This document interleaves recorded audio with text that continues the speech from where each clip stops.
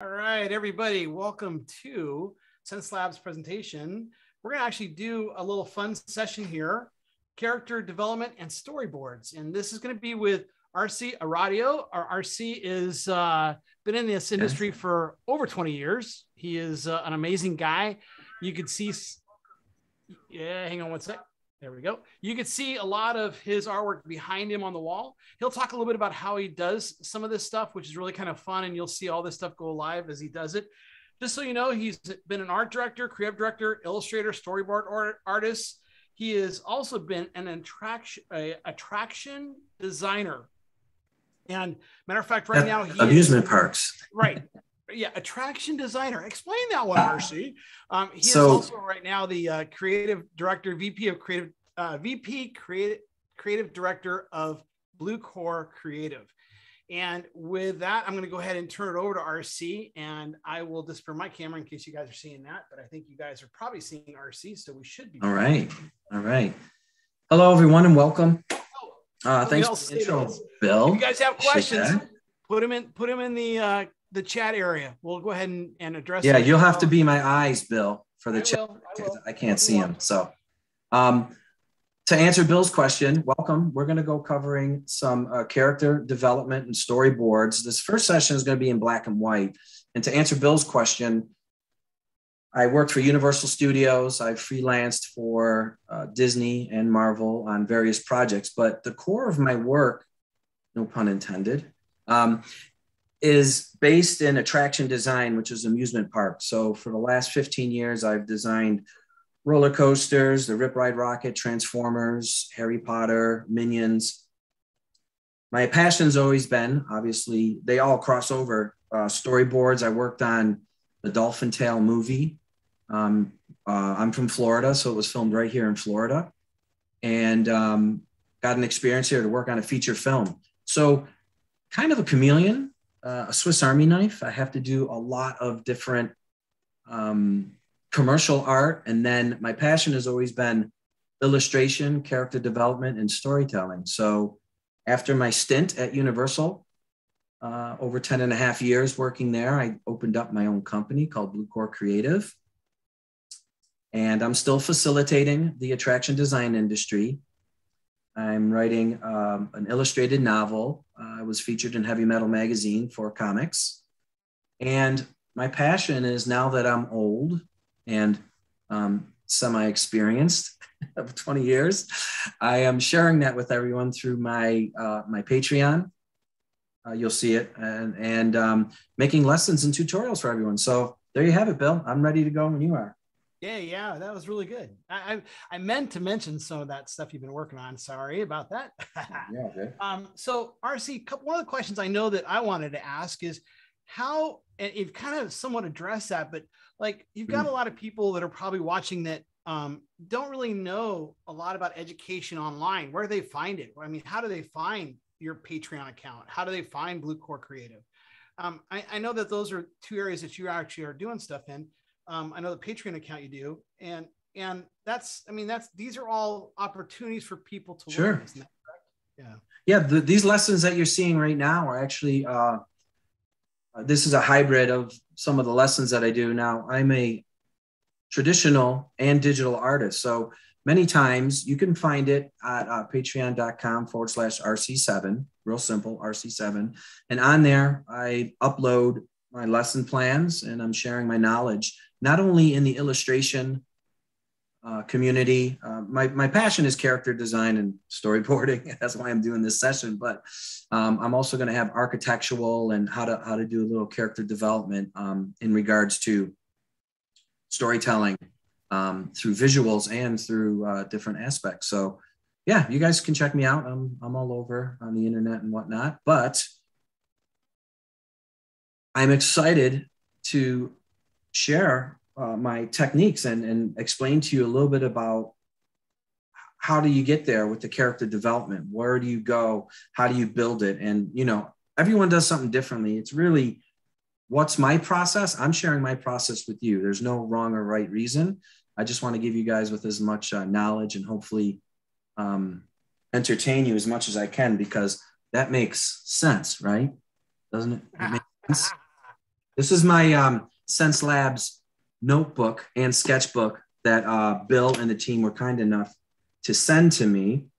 And this is chocked full of ideas and sketches and brainstorms, everything from character design to um, designing a desk. So there you go. What, when, when do you use that?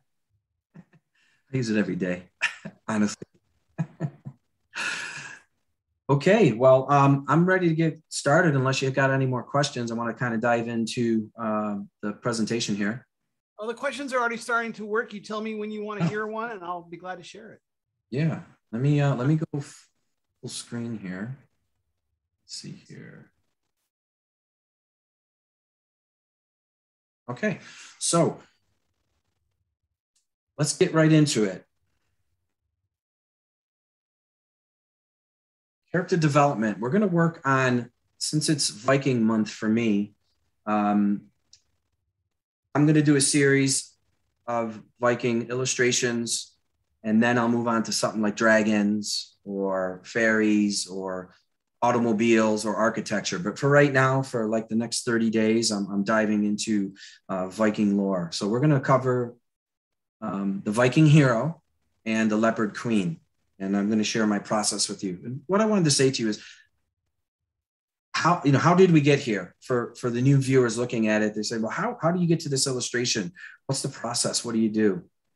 Um, you could see there's stages of it. And even though this is the black and white sketching session, I wanted to show you this is so we're, we're back engineering um, some of the character development. And I just wanted to share to you how did we get here? Well, is it binge watching Vikings? I love it. I, have been watching the, the series. I'm on season six, and um, it just happened to come in very good timing. But what I did want to say, and I'm, I'm using these images just for this demo only, but the fact of the matter is, it's really finding great reference and getting into what story that you want to tell. What's the story? Is the character strong? Is the character feeble? Um, is the character pretty? Is the character aggressive? It really comes down to studying your good reference, you know.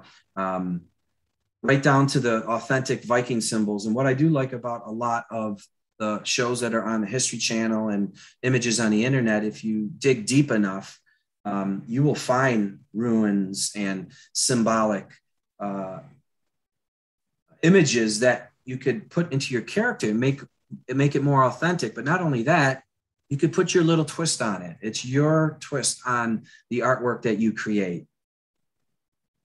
So it's really comes down to having good reference. Study the reference. We, we you know we have a few uh, images here, and you could see everything from clothing, the belts, the armor. Uh, you know the simple from the simple to the complex. You know from the the people in the town to the the warriors, the shield maidens, the strong females, and the strong uh, Viking men.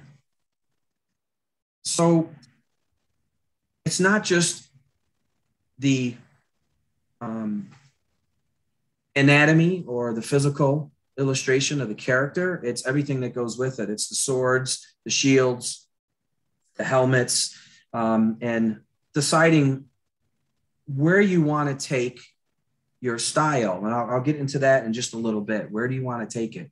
Um, so I would say, in on the beginning of any project, whether it was, uh, you know, creating a new attraction for Universal or illustrating a children's book or a graphic novel, your first stage is obviously to create a mood board and get your reference right and keep it near you. Uh, so you can you can study it and you can draw it and, and practice. So then when you're going um, when you're going freestyle, you have all that knowledge uh, tucked away. So character development and sketching. Um, these are actually excerpts from uh, my Patreon ca- class that's online. And I do a live uh, demo of the breakdowns. And I would have up a, a, piece of reference and I would decide, you know, or maybe three, I'd put them together and I would start some live sketching. Um, wonder if you could see that. See the cursor there? No, okay. Yeah, yeah, we can see the cursor. Oh, you can see the cursor? Oh, great. Thank you. Um, so basically over here, you have your, your, your red lines where I'm breaking it down. I got a, a little video to show you guys because uh, time lapse, I, I want to show you uh, some of the time lapse. But you got your second stage, which is your contour lines, and then you have your inking. Now, in tomorrow's session, I'm going to be covering the same characters, but I'm going to color them. I'm going to color them live so you could kind of see um, the process of that. So we start with a sketch over here. Then we move over to uh, a loose pencil, something uh, that's uh, loose and, and chalky, and you can see the contour lines. Then you could decide if you want to keep the pencil and go right to paint or if you want to ink it.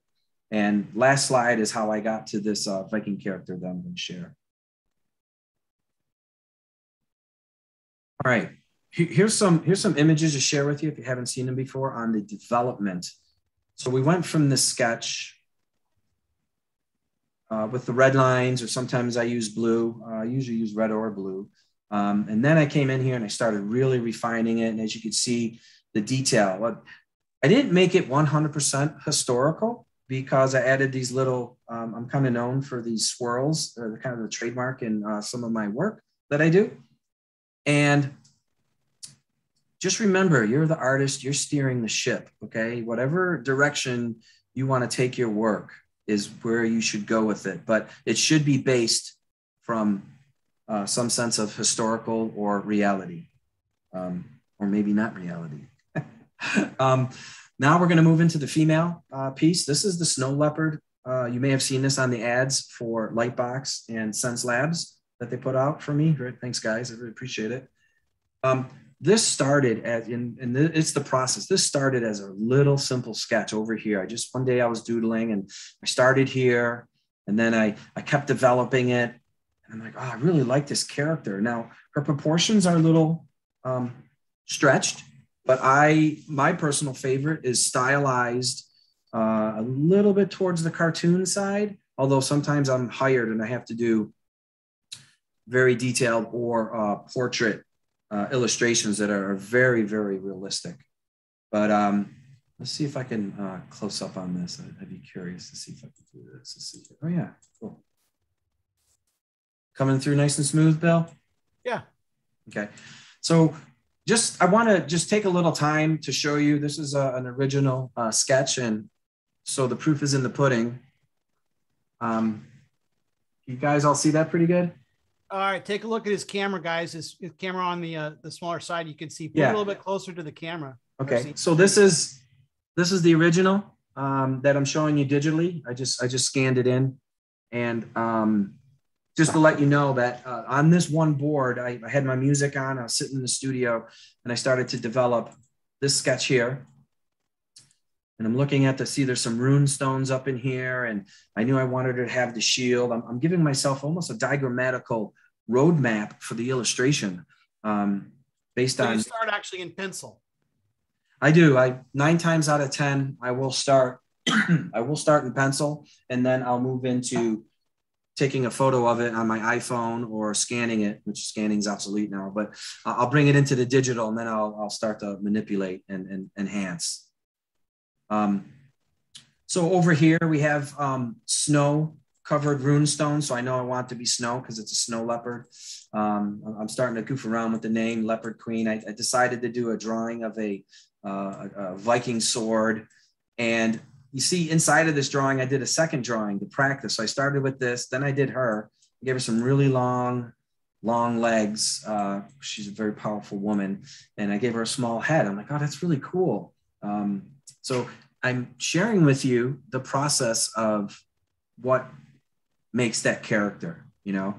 Um, and this is part of my process was doing these sketches here, and um, there you have it. So there's there's that.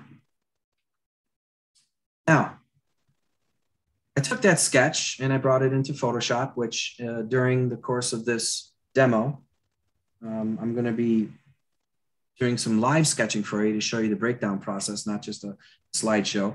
But um, this is, the, I'm starting to develop the uh, snow leopard and the character. I, I, made her legs a little shorter in this and um, I started digitally coloring it, which um, we're going to work on that tomorrow in the coloring session. So wanted to see at this point if anyone had any questions before I move on to the next character. Oh yeah, we got a couple in there. Um, okay, I'll field one. all right. So um, one of the things that was asked was, what's your favorite part of your creative process? I'd have to say, uh, I think most artists would would say this. There, there's two parts, but I'd have to say this this part right here is my favorite part of the creative process. Once you it, scan it in. No, no, the, the, the conception of the sketch is keeping it loose. I'm not really worried. I'm kind of just throwing things together. To put together an illustration is, is quite a bit of work. Um, although I do enjoy it, but um, you know, laying it out. So I would say the first stage is the concept stage of even doing a concept piece uh, is that first drawing, just just goofing around and doing some loose sketches and finding out what works and what doesn't. So I, I know you'll probably get to this, but one of the other questions we had was how does character design help you with storyboarding? Oh, it's it's great, and I'm going to get to that. That's a really good question. I by the way, you're going to get to that. um, the more assets, like if you, you, if you take a look at her armbands, let's see if I go here. Can you see the handbill? Uh, or no? Let me get the cursor. Yeah, I, I mean you can see it. You can probably zoom in and okay. see a little bit better, but yeah. So her armbands or her um, her lapel all, all of these are assets that become developed uh, that you can use in the storyboard over and over again. So yes, um, the further you develop a character, now it depends how much time you have, because uh, some of this you have a lot of time, and as in my profession, um, you know, I could be working on uh, the minions one day, and then the very next day I'm doing a Sumerian 3800 BC um, card game where I have to draw very realistic um, uh, Sumerians from 3800 BC. So it's really doing your homework on the uh, assets or uh, the attributes to the character. Hmm. I'll take one more and then I'm going to move on to the, uh, the next slide. Um, well, one of the questions I was looking at right now, just I'll read it off, is could you sure. share about any current projects? I know you're working on something. Um, I can. So personally, uh, with my company, Bluecore Creative, there's a lot of exciting things going on. I am producing a uh, seven part novel based on some of these characters you're seeing here. It's based on mythology. Um, that's one thing I'm really excited about. Um, I'm super excited, and I'm I'm super excited about my Patreon classes because I'm going to be doing a very wide range uh, from pencil sketches all the way to full blown oil painting a la prima, and that's really my passion. The third thing is, as I mentioned, uh, really, I just finished a card game. It's a board game called Ghost of Ur, and it takes place in 3800 BC. And um, I've done many illustrations for the playing cards, but also all the assets, as in um, helmet, cloaks. Um, and that was, uh, I had to draw hieroglyphs, and that was fun. So, those are some projects I'm working on. All right, here, here. Actually, I'm going to throw one more at you because this is actually a really okay. good one. Um, I, I, have a fear. This is this is for one of the, one of the people watching. I have a fear to create something unappealing or not good. How do I get over that as a beginner?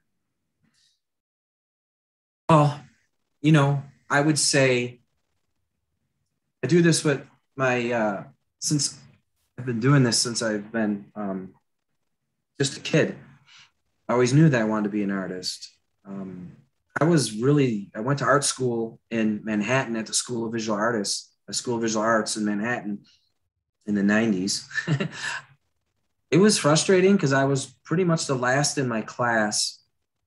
And um, I had to work really hard. But to answer your question, practice makes perfect. Repetition is one of your greatest teachers. I'll go back to really studying great reference. Uh, art is math with style. And what I mean by that is you're constantly dividing in half and in half and in half of proportions, but everyone has their own unique style. You don't have to be an illustrator. Look at Picasso. Look at um, some abstract, some beautiful abstract drawings. Whatever you'll know when it resonates with you, but you have to put your feet in the water and, and test a bunch of different things you like. You may really love a certain style of art, and then realize you know, that's not what you do. You may do something else like ruins or uh, uh, you may be really good at sculpting. But as far as drawing goes, I'm confident that anyone, just like, what was it, Gusteau, uh, anyone can cook. um, anyone can draw.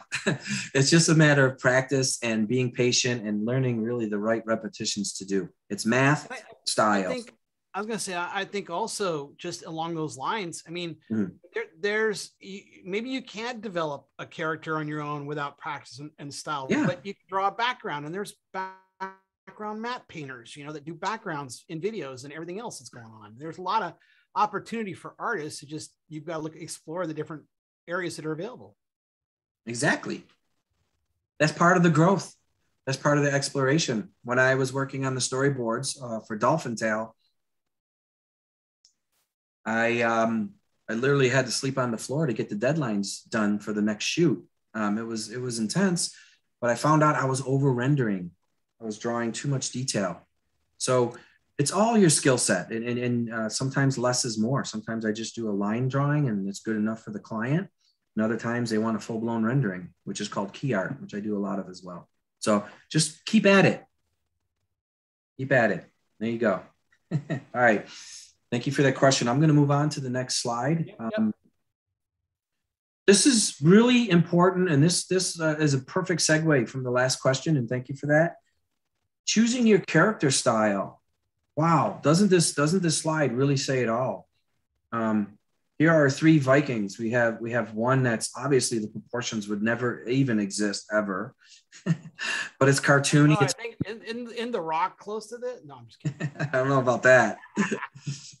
no. Um, you can see that it's very well illustrated, but it's cartoony, and that's kind of the stuff that I really love to do. If we look at the one in the middle, he's wearing a um, raven skull with wings, and this is a Viking warlord. Warlord, Lord. it's stylized. Okay, it, it's it's it's kind of in between both of them. The anatomy is still not um, exactly proportional to realism. However, it's close enough where it's like, wow, that's cool.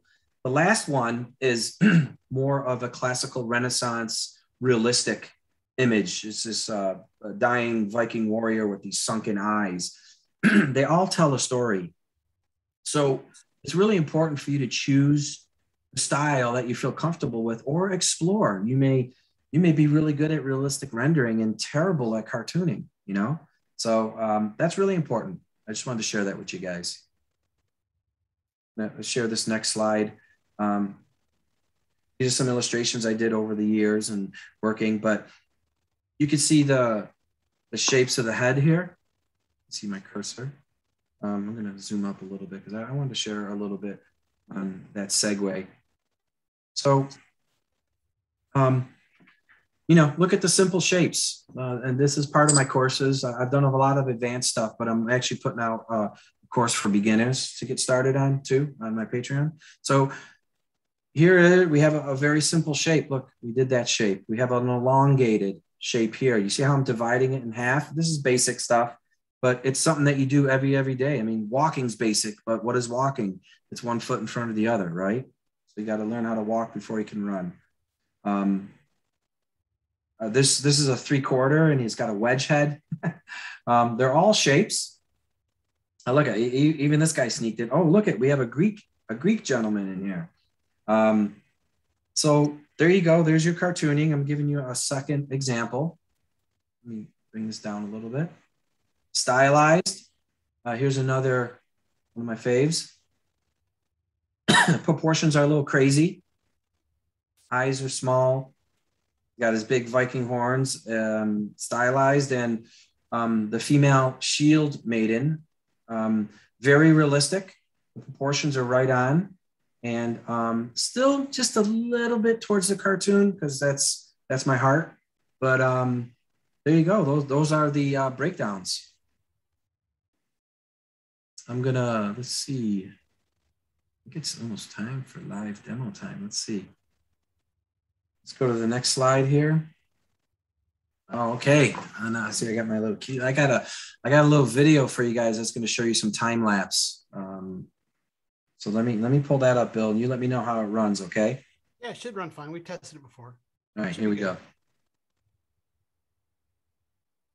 think I'm gonna mute. Here, let's see. So guys, this is this class is actually uploaded on my Patreon. I'm only going to show you part of it, but I did want to show you some time lapse.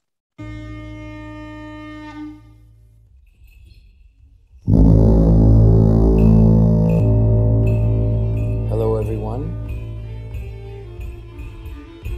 I'm sharing this with you because I love Viking mythology, the imagery, the strength, and the power.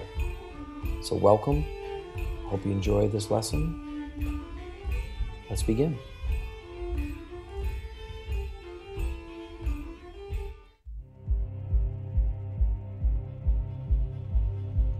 What I'm doing here is I'm doing a live sketch. It's basic shapes and forms. Massing in the face of the Norse warrior, this Viking fellow. What I'm doing is I'm showing you a live drawing, how my process works, and it's going fast. I'm going to go ahead and slow it down. Now these red lines, you see are the structure. I've broken the structure into thirds. I've divided it. And the red lines are the contour lines. They also establish hairline, mustache, beard, shadow, the planes of light. Right-sided light. So I'm going to go in again. I showed you the breakdown. I know it went pretty quick, but there's a lot to cover. Here's the breakdown of some of the penciling techniques that I do. And on this first stage, I will use a soft brush, a um, airbrush of some sort, or a soft charcoal pencil. On this particular one, I am using Sketchbook Pro, and I'm using the airbrush number six brush. and then I have it adjusted so it gives me nice soft line um, that adjusts with pressure. Now, the contours. Right now, I'm roughing in the hair. I'm, I'm still making adjustments. I've established the light source in my, my sketch. You can see the contour lines that I'm adding here. Breaking it down, making sure the eyes are even. Vikings didn't live very long. So this would be considered a very old Viking. Um, the lifespan was short due to their battle. So I wanted to make him, in my illustration, somewhere in his late 30s to um, maybe mid 40s. Uh, so as you can see, as the strokes get more confident, I'm, I'm still um, tweaking the shape. I'm going to go ahead and clean it in um, the lines actually get darker. And then I start to establish what I like, what I don't like. I continue to refine. Um, you can see how loose and soft these lines are. Uh, I like working that way until I decide whether I'm going to go hard ink, uh, soft pencils, what type of color put on it. Is it going to be um, realistic? Yeah, see, I adjusted the uh, forehead. I I wanted to make the forehead a little bigger. Um, he's a very large man, so I wanted to give him some strong features. Finishing up here with the white outline for the sketch. I hope you learned something. Now let's move on to the inks.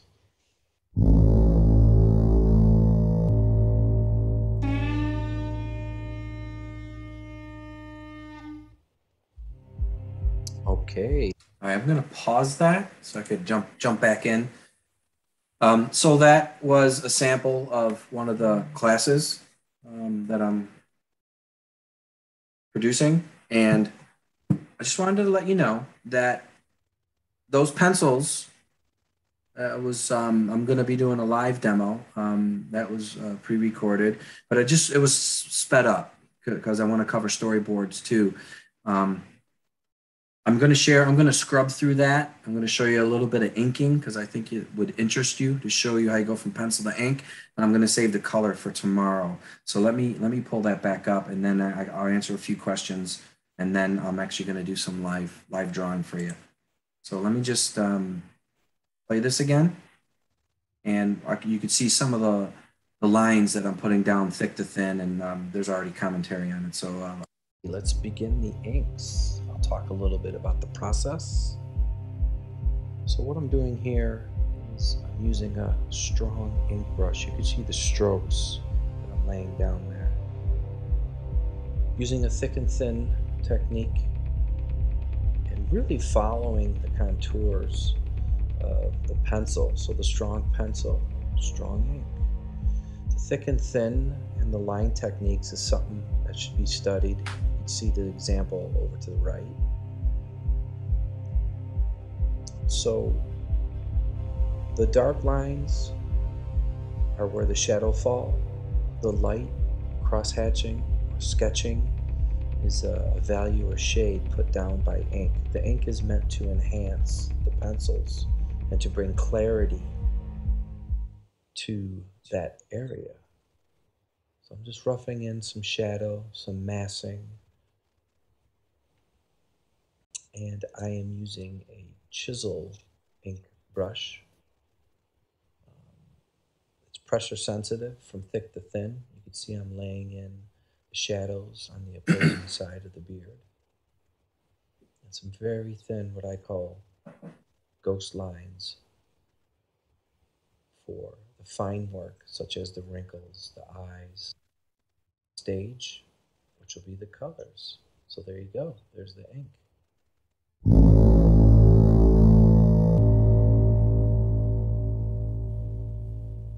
Okay, that's three, the colors. There you go. so on this piece, I'm going to show you, this is the finished. So I'm just going to pause it here and, and speak a moment. Um, this is what I'll be covering tomorrow, how I got to this point. And if you see the left-hand side of his face, very realistic, painterly, and the right side is very comic book. So that's for tomorrow but I just wanted to share that with you. I'm going to field a few questions and then I'm going to go into a live uh, drawing demo for uh, character design. I'm looking here. Hold on. Yep. If we have any. If not, we're good. I'll keep. Well, there's a lot of chatter going on, but let me see find a question. and Chelsea makes some good comments here to people. Each hmm. piece, each art piece is learning process, a stepping stone. Um, think referring to Christian because he had that great question earlier. Sure. Like it was like she said, you yourself be your worst critic. Are you your worst critic? Me? Yeah. Yeah, I am. You know, I think every artist uh, has that uh,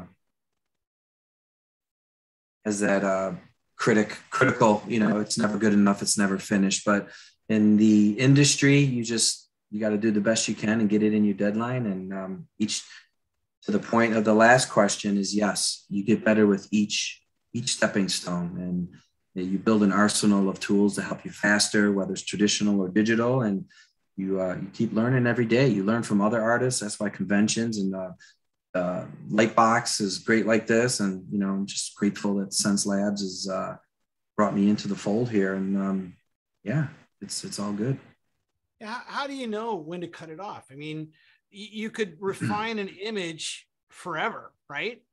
Pretty and, much. And, and how do you know when to cut it off? I mean, a lot of times you will have a, a time deadline, right? Yeah. You got to meet that deadline. You got to get the artwork in.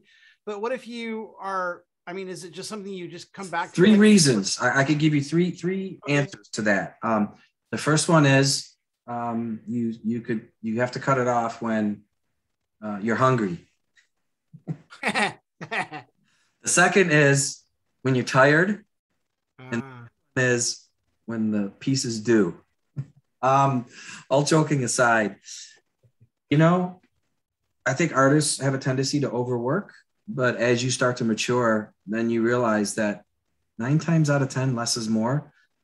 Um, and some of your early sketches are probably some of your best when you start to self doubt or noodle too much, then it, I, I mean, honestly, I really don't do it that much with pencil drawings anymore. I used to in the beginning, um, and not even with inking. But when it comes to painting, uh, especially oil paints, you can make mud very quick.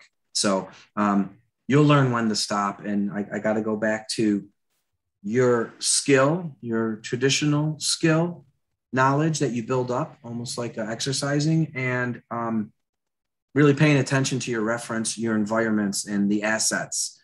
Because if you're if you're paying attention to that, you'll know. Um, and do a lot of squinting. It's something I mentioned, but when you're looking at your reference, you have, excuse me, your reference pieces, squint. And what squinting does is it, it really brings out the contrast.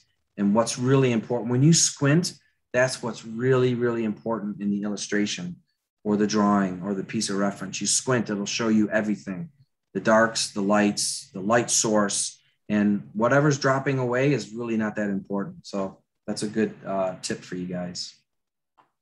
Hmm. All right. Well, I think um, I think I'm going to jump into a uh, a live sketch now I've got a couple different characters. I'm gonna I'm gonna show you guys how to do some warm ups. Uh, we're good to go, Bill, unless there's any other questions. Yeah, yeah, go go for it. I I, I got okay. one, but I'll wait. So I'm here in Photoshop. I'm using my uh, using my tablet. This beautiful pen. I want to show you guys something on the screen. So I'm using the the Xencelabs tablet, and look at this cool. I don't know if you guys could see this, but look at look at how beautiful this set is. And I'm very grateful to have this. It comes with the USB. It comes with uh, two different pens. A really, uh, really, really great product. So if you're more comfortable with the thin pen, you can use that. I like the chunky one because I'm usually gripping it all day. So um, there you go. So I'm going to go ahead and jump right in. hey, it makes sense, doesn't it? All right. So I got a couple things set up here. Maybe um, I don't know how much time we have. I'm just going to do some sketching, but I have the uh, male character, um, the that one, and then I also have the the female character, which is the snow leopard queen. So uh, where, maybe. Where did, those, where did those start, RC? Where, where did you? Where are you giving? The, are these your scans, your pencil sketches that you scanned in, or what is this part yeah, so, already? I'm going to use this as reference. They're my own drawings that I've done from my head. Um, but I'm going to use them just to, I'm going to overline them and show you guys a live demo of how I, am going to redraw it basically and show you guys how I use, um, whether it's a photographic piece of reference of a shield or sort of how I break it down in the drawing. But um, what I'd like to share with you guys right now are some, some warm-ups. Um, this is how I like to start. And when I was teaching back in the day, I would do this exercise with people like, okay, 30 seconds, just draw what's in front of you, what's your favorite piece of reference, and um, then I would make them stop and throw it away. Um, this was back when pencil and paper was king. but um, I started some warm ups. I, I, think it's important to to just um, example. There was a couple different um, on one of the last slides. I had um, some different shapes. So I'm, I'm just going to go in here. I'm actually going to erase these. I, these are the warm-ups. I'm going to show you guys. I'm using the, the tablet right now. I like to use a blue. Um, I, I'm in Photoshop. Uh, I guess one thing's that uh, I just collapsed that window. I want my swatches up. Yeah, uh, got kind of like a pencil setup. Looks like yeah. Uh, I'm looking up there, 28 pixel wide. Yep. 20 is it 20 28? But this so is you just got a current pencil, blue. Yep. Yep. So I like to I like to just kind of squiggle around at first. So I'm gonna I'm gonna start with um, just letting you guys know that it's it's thick to thin. This is pressure sensitive. So I'm drawing a very a, what I call ghost lines. That's how I like to start it. So let's just let's just do a, a cartoony face right now. I'm gonna just start with a circle. Let me let me zoom up for you. You guys can kind of so everything's not so small. Um, that's at 100 percent. I should have did that 300 DPI. I did it 200. Anyway, no big deal. Um, so let's let's go ahead and put a, a little a little chin on her here. There's to be a girl. Just going to sketch this out. A lot of lines. A lot of. I just want to I want to share with you how how I work sometimes. Um, going to give her a neck. I'm going to use L for the lasso tool. Those are the hotkeys. I'm going to use V for the vector. I'm going to move that up. Command D um, for deselect. I'm going to go, what I love doing is once I get the structure, I go to my eraser tool and I do it at about 50% opacity and I just push it back real soft. Just push it back. Same with these over here. I'll push these back. I got a little sketch going on. I work messy. I definitely work messy. So now I'm going to clean it up a little bit. I'm going to go in here and I'm going to make an ear. I'm going to use that. Uh, let's erase this a little more. I'm going to go and define the shape of the head. Nice and easy. I got a sketch pencil that I'm using. I'm going to make her neck right here. I'm going to give her, um, since we're doing Vikings, this is a cartoon Asterix or whatever. I'm going to, going to give her some shape here for shoulder pad, shape here for shoulder pad. I'll cut it. Um, this line's kind of bothering me, but I'll ignore it. So if I wanted to draw the rib cage, so here's really important. You want to find your center line. And you want to find this line is going to control where the face is, where are the eyes looking? Are they looking here? Are they looking up? I'm just going to back those up. So you kind of make your cross line here. Real simple, real light. Now we know where she's facing. So what I like to do, I'm going to just do this really quick here. I like to just put a shadow under the nose. I like to put a, just a shadow for the eye socket. Uh, eyebrow, since this is cartoony, I'm going to have a little fun with it. I like to define the cheekbone in here and establish your light source, guys. Really, really, really important, even in the sketch mode, to decide where the light's coming from. The light's coming here. I'm gonna, so that's making the chin pop out. That's the shadow. So if the light's coming here, then this side of the face is being shadow. I really love this brush. I'm gonna drop it down to like 40% opacity and show you guys just putting in some very basic um, shading just to help understand the piece. There you go. um, I'm gonna go back to my eraser. I'm gonna get rid of this line. Like it. All right. Whoa, come back. Skipped over. Hold on. Hold on. There we go. We're back. Um, All right. So we have the basics right now. Now you could do one or two things. You could go in with the eraser. I use an airbrush eraser that I have preset. You can do this and knock it, knock it back again. I'm going to draw over it. And I like to do this, or you can make a separate layer and just lower the opacity. I'm just going to, for time's sake, I'm just going to do this. I'm going to go with a harder brush. Now, Let's see, the first brush was uh, just a standard sketch brush, real soft. You see it's got a nice charcoaly feel.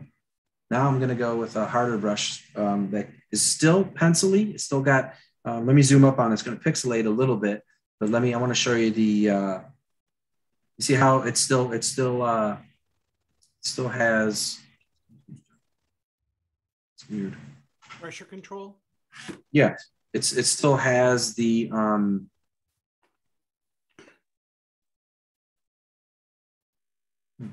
Somehow I switched over to the screen here. Okay, so let's lower this. I have to actually go into the preferences. It's, it switched my tablet to the other. Um, let me see here. I gotta go into the preferences. This here. So I'm gonna go into the um, preferences.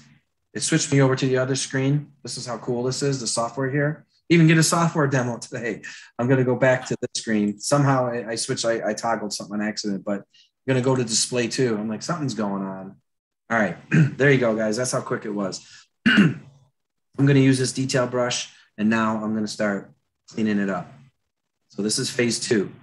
Um, since we're doing the Viking girl, I'm going to give her some crazy hair here. Here's the hairline.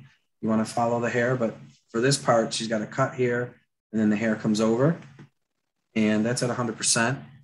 And I'm gonna give her a look there and a look there. Those are her eyebrows, kind of cartoony. One there, bridge of the nose, the shadow. just having fun with it.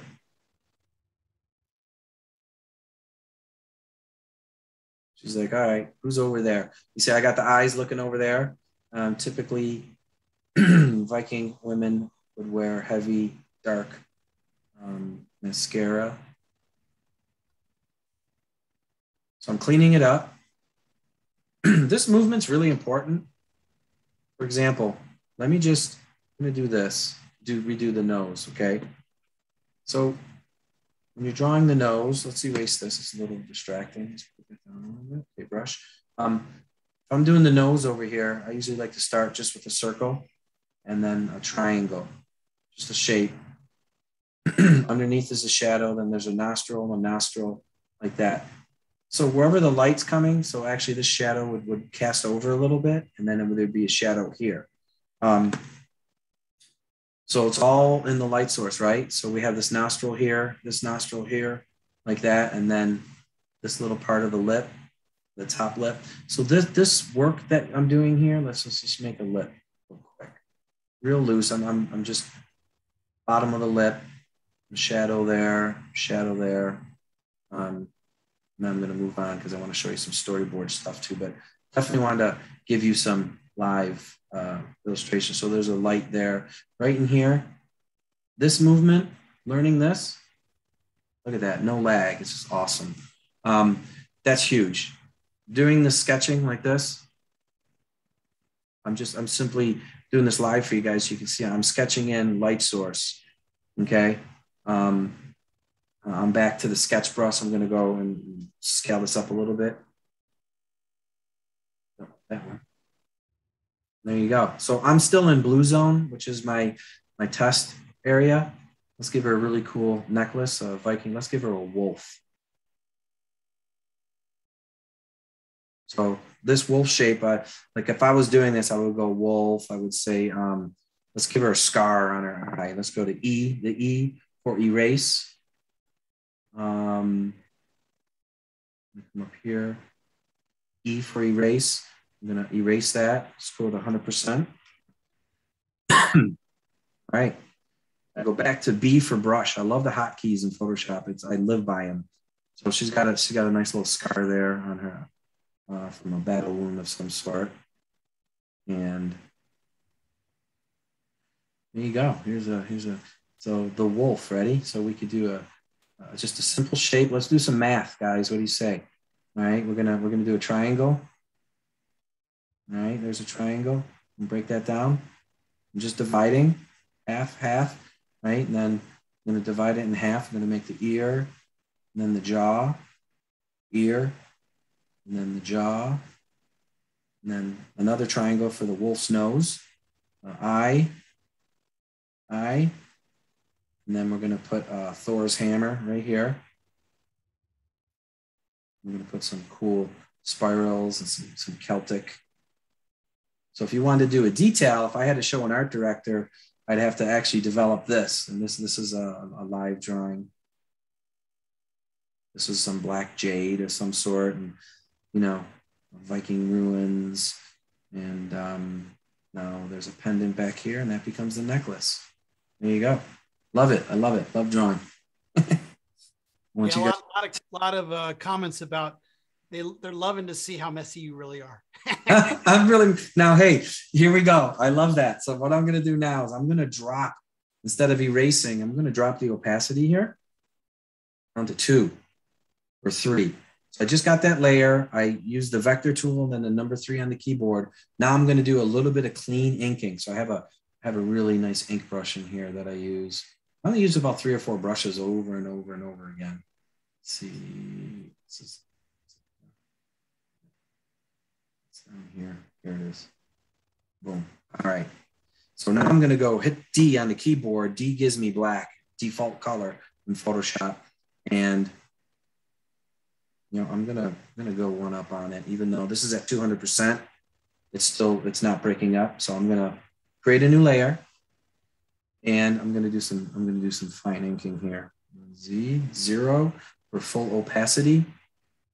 And there we go. Can you see?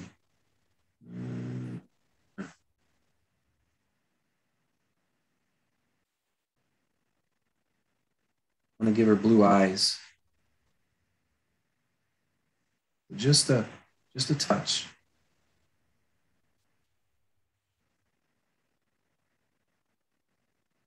These strokes are very confident now. Is all the all the structure was a mistake. All the structure's been done. So I'm really connecting dots. So in my mind, there's a dot here. I know it sounds silly, but in my mind, there's points that I want that to be one line. Uh, in architecture class or architecture school, you were always taught, always taught to draw over, to draw over. That's important when you're doing this because you can always come back and clean it up. You want to go past it in a very confident stroke. Confident, not, no, not that. Unless you're going for that. um, these are quick, confident strokes that are going to help you. Um, this is where her hair is parted. She's got a little action going on there. Eyebrow. Boom. Um, now you could make the eyes bigger and make it way, way more cartoony. You could, I kind of, I kind of like where this is going. Um, can't wait for tomorrow also to show you guys because I'm going to save these files. I'm going to color everything. Which if you're interested in coloring, I'll, I'll show you my secrets. The only reason I learned Photoshop was so I could color my comic book pages back in the day on Photoshop 3, Photoshop 2. That's how many versions I've gone through on this program. It was back when you were making Colt? Yes, it was actually Colt and um, another uh, episode of what I was doing, but I, I didn't even, I was hand painting the pages, but I knew that I, that this digital coloring was coming out. Now I'm going to lay down some gray uh, tone for you guys. I love keeping the slider open, guys. If you want to go ahead and take a screen capture or whatever, this interface is really dialed in. that means coloring. I got all my colors here, got my layers down here, and then I got my brushes. It just seems so seamless. So I'm staying in the grayscale. I'm going to go to 100% opacity, so fills it. I'm going to drop this layer beneath it. So very quickly, um, I'm filling this area. And this layer is underneath the stroke yep. just did, correct? Yeah. Yep. It's a separate layer. I'm, I'm for speed time, I'm, I'm just going fast. But now watch my slider over here. I'm going to go pick it. And um, remember the light source, guys? So I'm going to come in. I'm going to add that light source. It's got a little red in there. I want to keep it grayscale. There's light source here. The nose. If you hold down the option key, it brings up the picker. You go here, a little too dark. This is what I do for storyboards. I use this technique all the time because it's fast. Um, just her hair's light. I don't want to. I don't want to go too dark, so I don't want to overwork it like we talked about, right? um, her eyes. I'll go in with a, a bright white. If I hit D on the keyboard, it'll bring me back to a default color, and I just add that there. I'm gonna go with a slightly different brush to give her just a really sweet highlight here.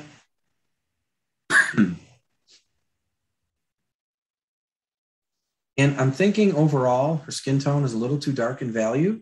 So watch this. I'm just gonna, I'm just gonna get that uh, eraser, the airbrush eraser, B for brush. Go E. Um, where are you? It's my second set. Okay. And I'm just gonna knock it back 50%. So I hit five on the keyboard. You see the opacity? When you're when you're in your brushes, if you hit one, it's 10. If you guys can see this. And if you hit uh, zero, it's 100%. So I'm going to knock this back 50%. Look how nice that is. This pushes it back. Even her hair, she's got white hair, right? Nice and clean. So who said I am messy? Who said that? I am. and I love it. So I got the blue lines underneath. I'm going to do a little bit more. Um, because time's just flying by. I'm, I'm not even keeping track. So you're gonna have to keep an eye on me, Bill. We're, we're, we're good. There's not, you okay. know what? There's not a session after us. So if we go a little over, oh. it's okay. Yeah. All right. I know, but no. Oh, damn. We started. I'm gonna share this real quick. Little paint creative. Yeah. You're gonna have to come back tomorrow to hear how uh, RC does. Uh, if you're not, he uses. If he, she says this. She says do you still only use Photoshop for coloring or have what other what other years have you tried? Again, tomorrow you'll find yeah. that out. I use pretty much every program that's available to me, uh, just like a Viking, uh, a warrior. I knew he'd answer that. I knew use use all resources available to you. Uh, I use Procreate. I use uh, Sketchbook Pro is one of my go tos when I'm, I'm, I'm mobile. When I'm in Photoshop, I love using the tablet because um, it makes me very disciplined with the strokes. So let's not forget the wolf. Let's finish this up as I see it's almost 11. Holy cow. I didn't even get the storyboard. So let me just wrap this up. I only got time for. You got, you got a little time, RC. We're, we can go over just a little bit. That's fine. Yeah. All right. Yeah. I don't wanna, like I said, we got nobody behind us. I don't want to bore anyone. That's where you're supposed to step in, Bill. No. Um, well, let's, let's hit the storyboards real quick. How would you do this? Yeah. Okay. Bam.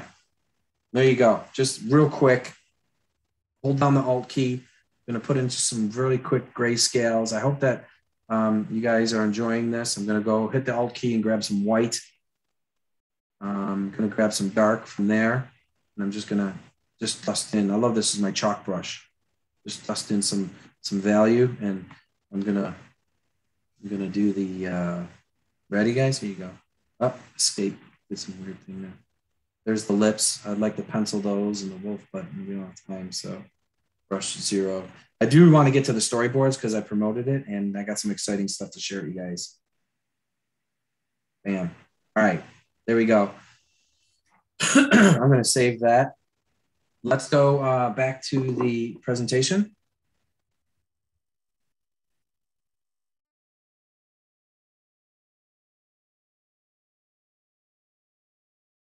All right, here we go. Is everyone cool? Uh, storyboards, Viking Hero Saga. Um, placing your characters in storyboards. Well, I chose um, in this particular story. I want to talk a little bit about story development, um, what's involved. Once you have developed your characters, the physicality itself will give your character its own story for sure. Um, in this particular story that I'm working on, there's a set of twins, um, brothers, as you can see over here, and then there's the uh, the mighty epic uh, Viking father. And um, in this story, they're searching for their long lost mother, and um, she was lost to the sea. And it's a classic uh, Viking story. Uh, they were close to the sea, and this is part of when you guys actually get a sneak sneak sneak peek on the novel series that I'm producing uh, this fall. Um, and I just wanted to share it with you. These are some of the characters. Uh, so now I'm placing these Viking characters into a story it's really important to develop your environments. Okay. So I did some sketching, um, had so much cool reference out there. Um, and I chose to go cartoony. You could see, um, I'm to, I'm to pan around to the set. I call it a set. Um, you can see the scale. I put a person in there. This dude's, this guy's like six foot. So you can see the scale of the house. I got a, Viking banner. There's some uh, uh, mountains, very mountainous area for, uh, in the background. There's shields, little Celtic symbols. There's a dock, and of course the classic Viking vessel. Um, so there you go. I, I, wanted to zoom up on it and share with you um, some of the thought process of, of, of, what goes into a board. It's you're building a set, you're building a war world, you're responsible for it. so let me dive right in here. Um, to the left are the storyboards. I'm going to walk you through it, and then I'm going to draw live a few storyboards. Um, to the right are uh, images for demo use only, and you know you have to have your inspiration. These are part of the mood boards or reference boards, as I call them. they uh, provide if I were to turn this into a director, they would immediately see a movie director or um, a fellow uh, set designer or colleague. You immediately see it's much like uh, Norway um, with the, uh, the massive mountains and um, the, the sea. And they didn't really have a lot of land as it's so mountainous over there. So you immediately get the color palette, you get the feel, and you get the structure. Now it's your job to take your reference and turn it into a story. So hopefully this this holds up resolution wise. And I'm using a, a, brush anyways here. So let's see if I can go one more, kind of walk you through the pacing here, which will be cool. Um, so these little arrows, you good, Bill? Everyone good? Yeah, yeah, yeah. Yeah, we're good. Cool. Um, these arrows here, so we have a mountainside, okay? Look at uh, mountainside, night, full moon, Viking village. These arrows that you see here, as loose as it is, mean that the camera's pushing in. When you see these arrows, that means the camera's going to push in. Camera's pushing in. We move to the next frame.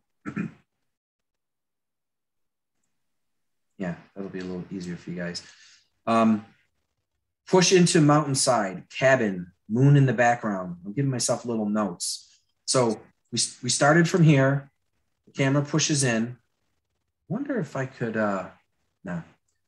Uh, camera pushes in and we're zooming into this cabin, right? We push in even more. We look into the window, uh, seeing the, the silhouette of the Viking father and son. I've been talking so much today. Got a little dry throat. All right, excuse me. Now, let's go to the next frame. These are um, purposely drawn very loose. You're inside of the cabin. There's things hanging down when you see for me when i'm doing storyboards as i mentioned I, have done them professionally for major motion picture movies and also at universal studios on all the rides i did uh, storyboards for pretty much every single attraction from the guest experience from harry potter to minions and so on and so forth so when i see when i see this this is my shorthand for add two frames almost like in betweening like they do in animation boys I have a surprise for you. Now that you're little men, that's my Scottish accent. You know, when you're storyboarding, you gotta you gotta pitch it.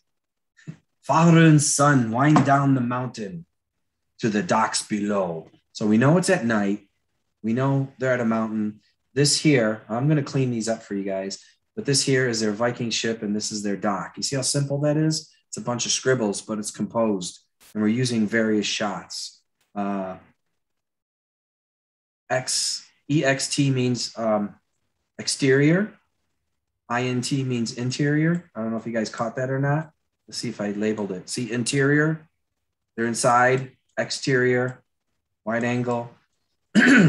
um, after this, I'm going to stop and move to the next board. See if you guys got any questions. This is really cool because I know he's wearing a cape. And really simply, I, I got the two sons. You can see the scale, this massive uh, father over here walking down to the dock. Exterior. The moon is full. Father tells of a great sea story. Boom. There's your boards. So, six boards. It's an opening scene to one small part of the story. So, I took the Viking characters and now I've put them into a story with context. Um, I've got two more boards to share with you, but I'm going to pause for a moment and see if anyone has any questions. we're good right now. They're they're right. making comments about Norway. Perfect. Perfect. yeah, the fjords of Norway. Let's move on to the next page.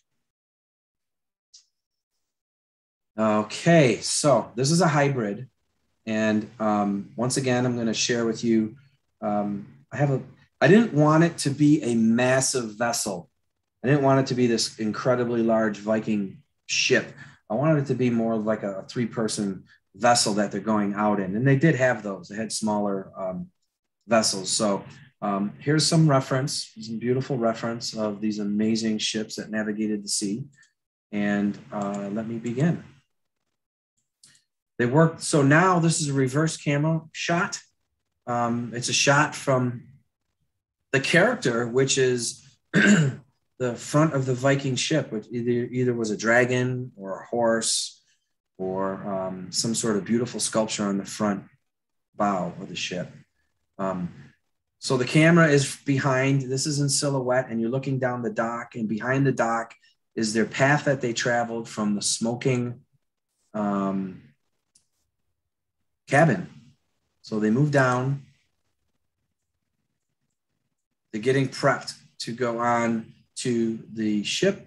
It's now it's a reverse shot. So you see it went reverse, the shot reversed again, cameras behind them showing their journey. Um, now it's a bird's eye view looking down on the Viking vessel.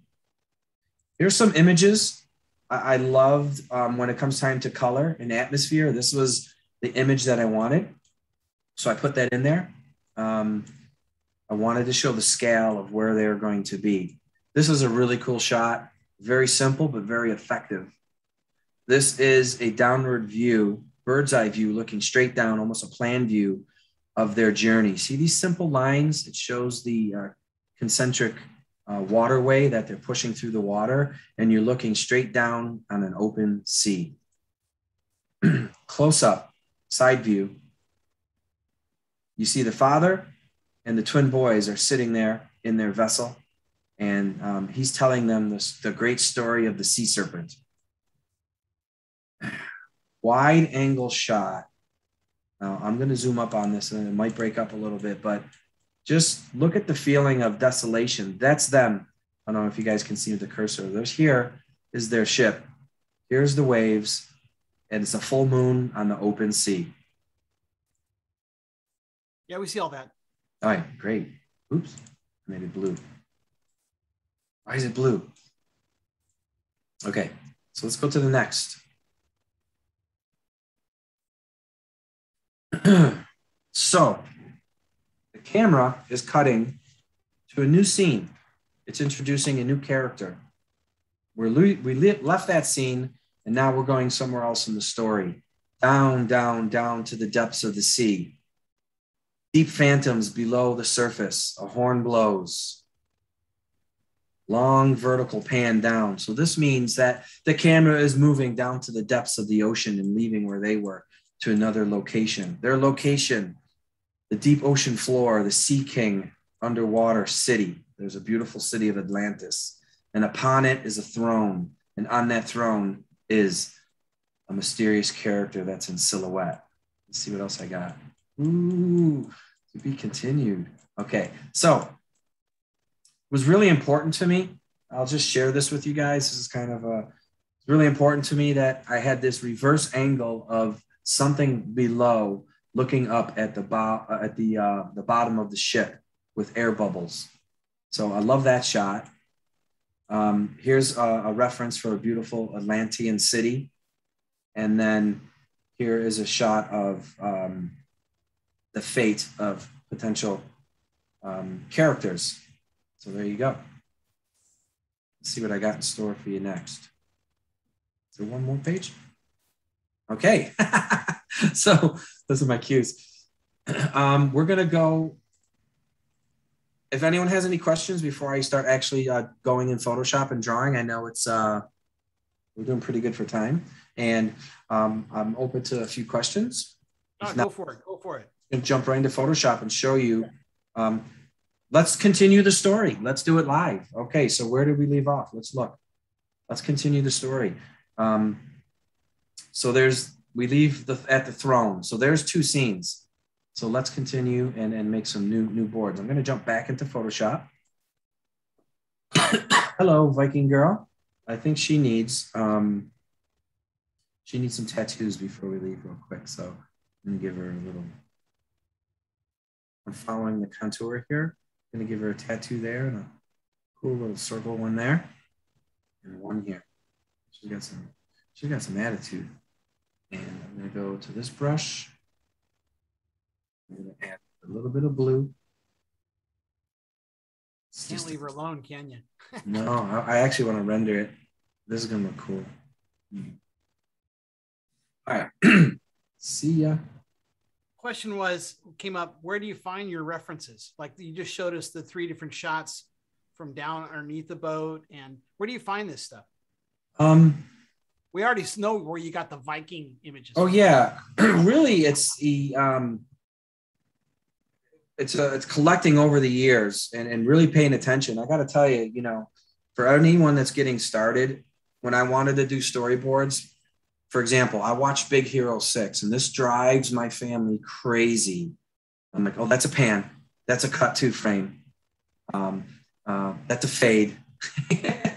what I would do is I would millions and millions of dollars are spent on a DVD or a movie. If you just pay attention and slow down, you can find out and look at the frames and start to learn the composition of a person here, cameras here, and then a person here, right? I'm just drawing some really simple shapes. Um, the next frame, to answer your question, I use a lot of um, TV, uh, DVDs, and I, I, I, freeze frame the images because all the hard work's been done. The sets are already made, and it just teaches you. Uh, whether it's uh, Star Wars, I worked on some Star Wars uh, properties for um, um a contest and a few different uh, things for Disney, but you it, you could freeze like let me go back to Big Hero Six. I'm jumping around.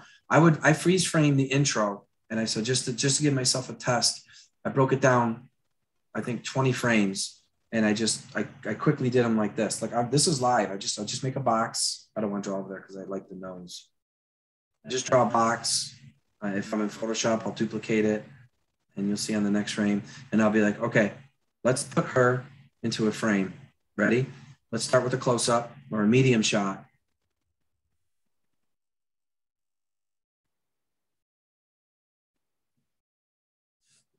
Don't need much. And let's see, swords up, okay? That's it. Let's go to a um, wide. This is bothering me here. Let's just do that. Let's go back to this. Let's go to a wide shot of her walking. Doesn't need to be much. Shift. Sorry, my keyboard's stuck. It's holding the shift button down, which is weird. Escape. Escape. Oh, there we go. I got this keyboard. It's got tape tape on it, you know. She's holding a shield. and in the back are the fjords. That's all you need.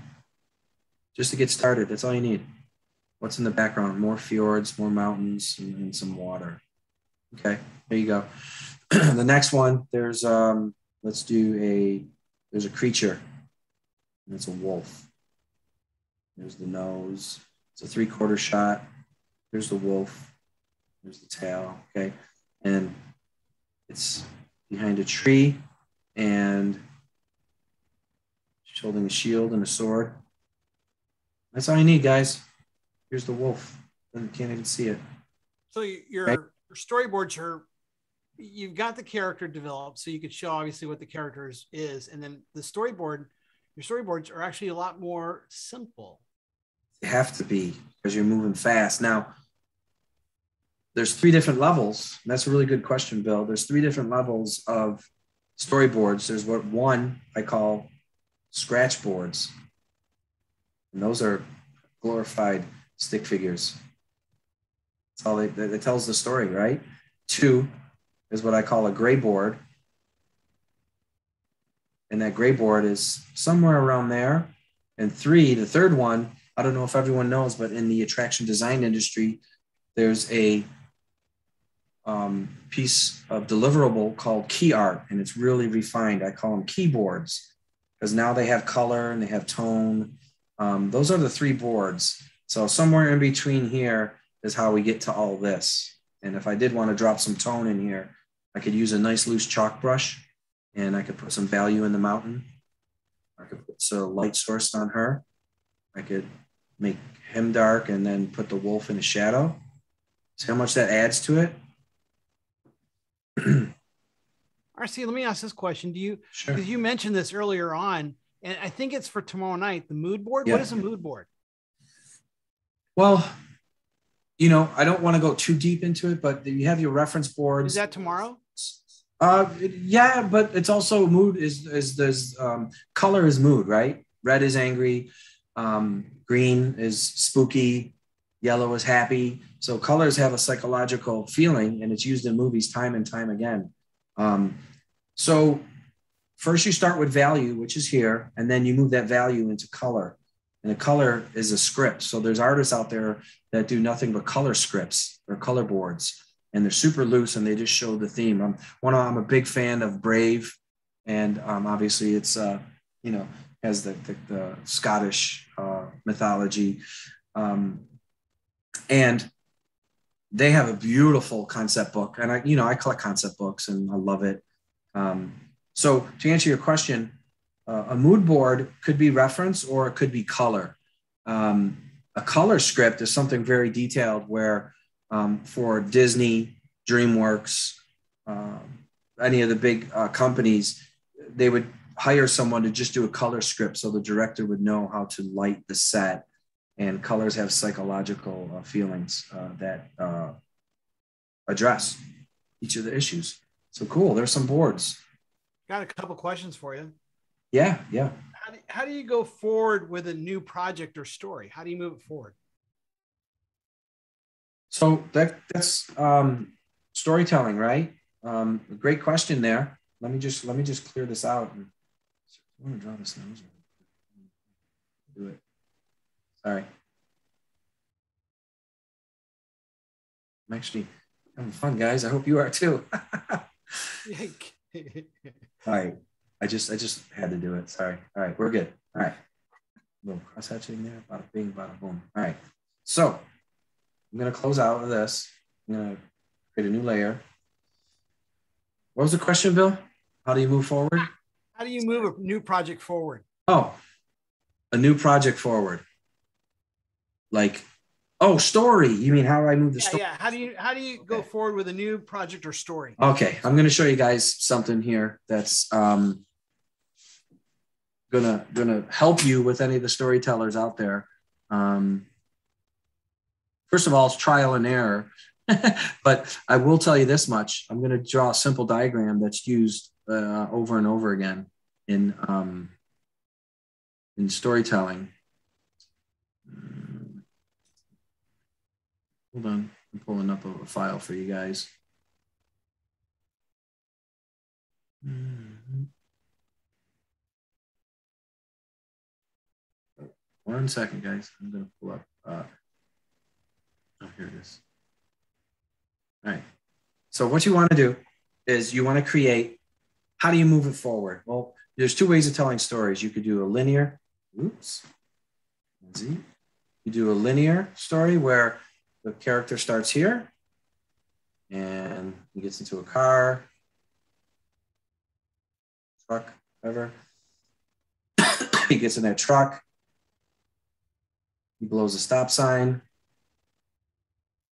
Truck swerves, crashes. And then um, he's uh, he's all bandaged up. Oh, my head doesn't feel good. Right? I'm doing this cartoony, but and then he goes home. This was this was the adventure. So you have your middle story and you have your end, your end, your beginning, and your middle. So it's the ordinary world here. Little um you have the ordinary world. He gets in his car, not expecting anything. Then uh, he blows a red light, and then he goes into his adventure which is the middle. And then there's consequence, which is here. Uh, these are the consequences. Then he goes home and then he gets um, gets yelled at by his wife for, for driving like an idiot. so that's a linear story. How do you move it forward? Well, guys, so that kind of that kind of moves into another question. One yeah. of the other questions was, do you ever take your own photos for reference? Now, this car yeah. story I gotta beg to ask, RC. yeah, sure. yes. Um, your iPhone, you guys, you don't need a lot of money to, to produce awesomeness. You really, really don't. And even traditionally, you don't. I'm doing a whole class on how to how to do uh, a full blown uh, original painting for like twenty dollars on a skinny budget that I'm working on. But to answer your question and to wrap this up here, the storyboard session, um, your phone is amazing. That's all you need is your phone. If you can't do reference on the internet, you could just use your phone and you could literally take sequential shots and break them down and look at them and, and analyze them and get close ups. If you're determined enough, you could have all the resources you need visually to convey it into a story from start to finish. So I hope that answers your question. But yes, photo reference is key because a picture is a thousand words, right? I, got I got one other question I'm going to ask here, kind of to Linear. Mm-hmm. Um, one of the things that that you when we were kind of talking off stage or before we got on on screen, yeah. there, I thought was very interesting. Your progression about how you do things. You showed us already some pencil sketches that you did, then you scan them in, and then yeah. I look behind you on the wall and I see these big, huge uh, oil paintings. And yeah. so, what is the process that you go through? Just your own personal process. Well, so we're talking about uh, traditional digital hybrid. Yeah. Yeah. So they always start. They always start like um, they always start as this, as a sketch. You know, um, as that as that sketch starts to uh, come to life, it, it, it, you decide where you want to take it, right? So let's just say it, it's the leopard um, this leopard, I'm going to give you one last little drawing lesson. Um, I'm going to rough in a, a growling leopard here, snow leopard.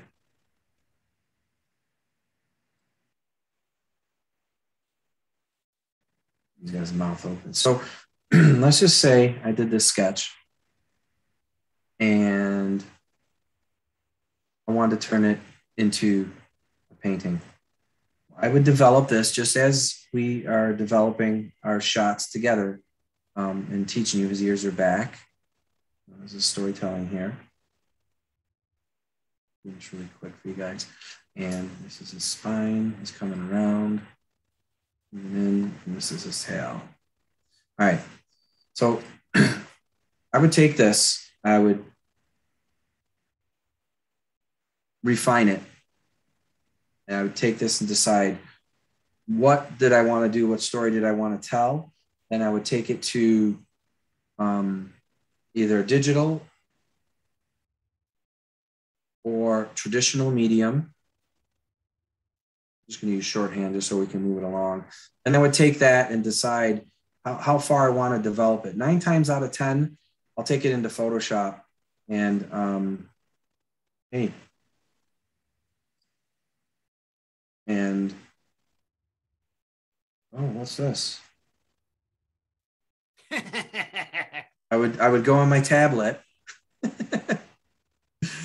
and I would digitize the drawing because um, it makes sense, right?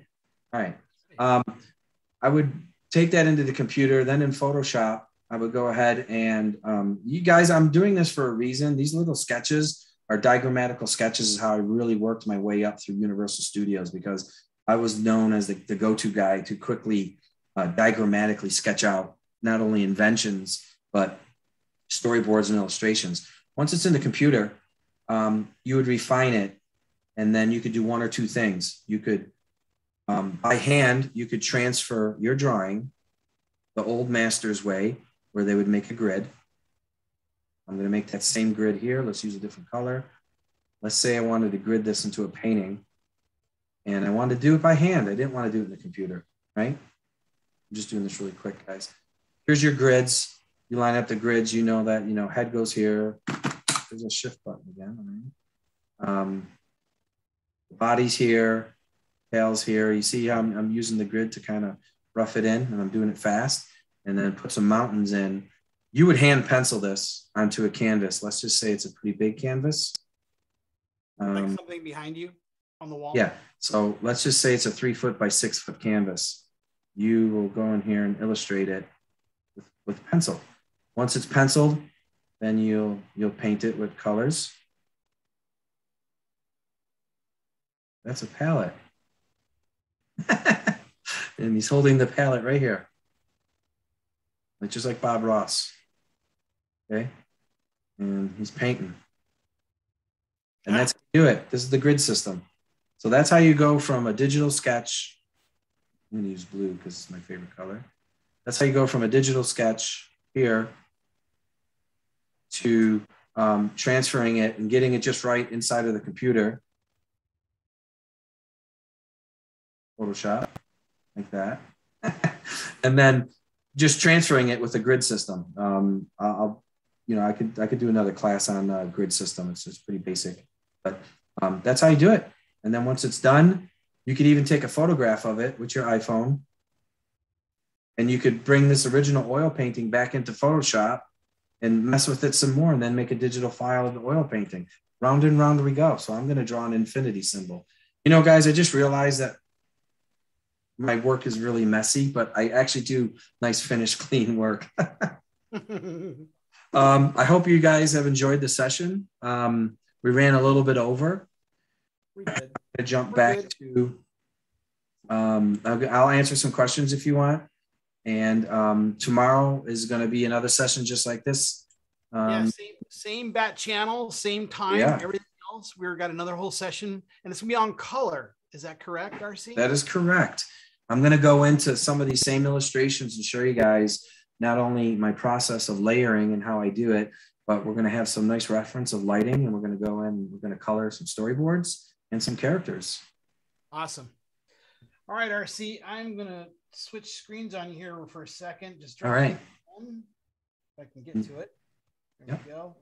And um, just so you guys know, uh, again, RC will be back up again tomorrow night um, or same time. Share that. That's right. There we go. That should do it. There we go. And so I hope you guys have enjoyed this. Again, tomorrow night will be on color. We also, if you see in the chat, we have our list of speakers. If you guys want to take a look at the list of speakers we have scheduled for the next two days, they are in there, including RC again. So I want to thank you guys again. Have a great evening, the rest of your evening. Have fun, and hopefully we'll see you tomorrow. Oh, what do you guys? It, it even it even comes with um, LED changing lights in the four corners, so it really does make sense. Nah, yeah, you know, I, you know, I, I really love those little lights. I have Photoshop set to blue yeah. and Illustrator green, and when I when I'm switching between apps, it changes those colors, and it's really cool because I just don't even have to glance, but before my eyes see those colors, I know what app I'm in. So, all right, all right, guys, thank you guys. Have take have care. Thank you, and we'll talk to you guys soon. Ciao for now.